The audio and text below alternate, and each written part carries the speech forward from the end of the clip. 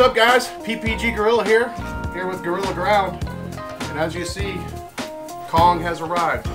All the way from Portugal, they went over to Kamatula and he did the final assembly. And um, so we're gonna go ahead and get this baby unboxed. Ready? Ready. Let's do it.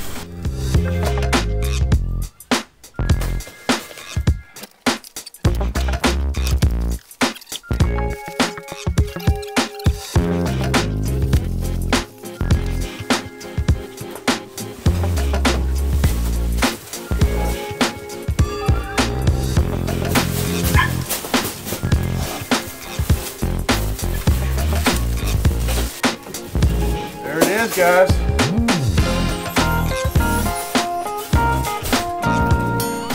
So here is the balance charger.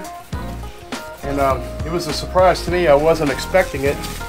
To much to my surprise, I got the uh, electric start add-on. Kyle said that was a surprise from Power2Fly, and I really appreciate it. I say thank you very much.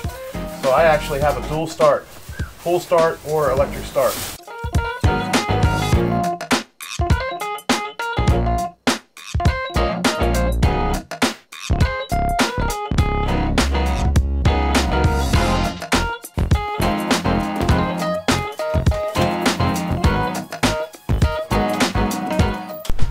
Feels pretty good. A little bit heavier than a nitro. Yeah, I think I can run with it though.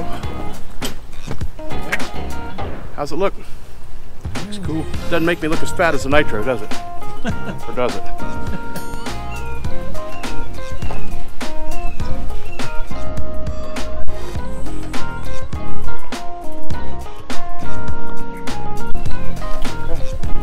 Alright guys, this is it. Kong is born. Kong lives. Ready to go do this. But now the rule is it's going to be windy for at least two weeks. So we'll do some break-in.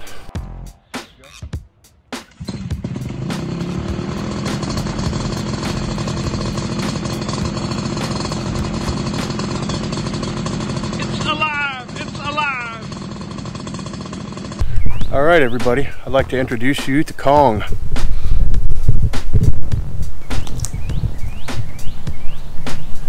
Trike looks familiar. That's my same Colibri trike I've been flying for about a year.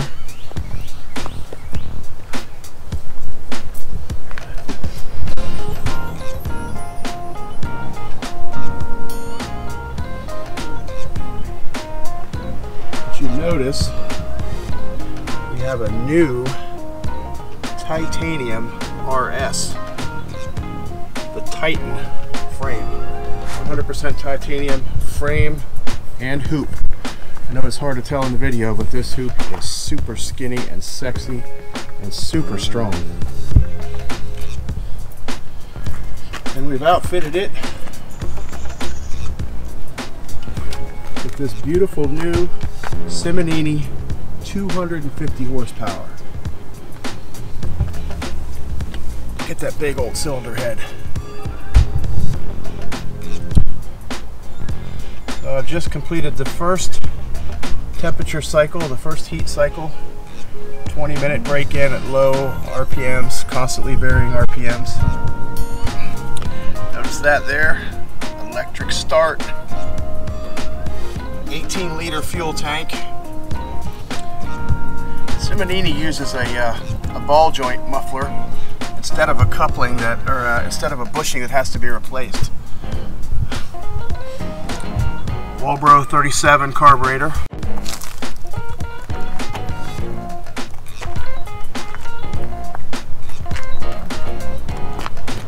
Hundred and thirty centimeter helix prop. And I still have the uh, Dudek Comfort Power Seat, which I liked a lot on the other one. It complements the Colibri trike very nicely.